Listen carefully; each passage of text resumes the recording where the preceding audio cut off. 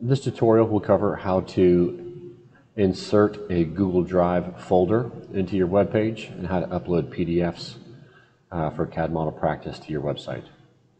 So right now I'm on my web page. I'm going to come over here to the right hand side, hit the edit this page button. It brings up the editing screen. I'm going to come over here to pages. Make sure I'm on the, the Dave Cribbs page. I'm going to expand it. And come over here, make sure the Dave Cribbs is highlighted in blue. Come over to the three dots and click on Add a Subpage. And this is going to be my folder for CAD model practices. And this is where I'm going to turn in all of my assignments. I'm going to go ahead and hit, hit Done. Once I'm on this folder, make sure that this is highlighted blue, CAD model practice. Come over here to Insert. And we come over here to Drive. And you're going to navigate and you're going to find your folder for CAD model practice.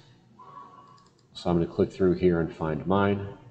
I'm going to click on the folder once. I'm not going to double click to get into the folder. It brings up all the files individually.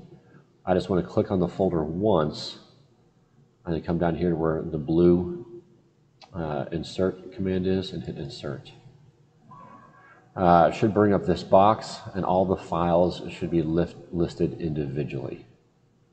Uh, once you do that, uh, you can hit publish. You have to make sure you hit publish. Uh, that's what saves our changes.